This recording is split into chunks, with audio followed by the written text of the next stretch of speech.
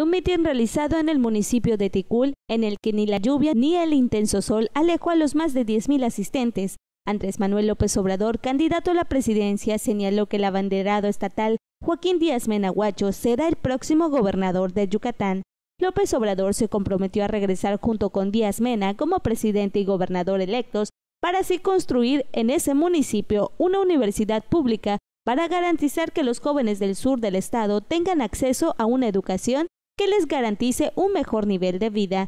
Aquí también en Ticulo, repito, Guacho para presidente de la República, porque tiene cabeza, tiene corazón y tiene carácter, las tres C que necesitan para estos menesteres, expresó López Obrador. El abanderado nacional de Morena, Partido del Trabajo y Partido Encuentro Social solicitó a los asistentes a votar en las boletas por los integrantes de la coalición para asegurar un cambio verdadero, con lo que se daría la cuarta transformación del país. Notivisión.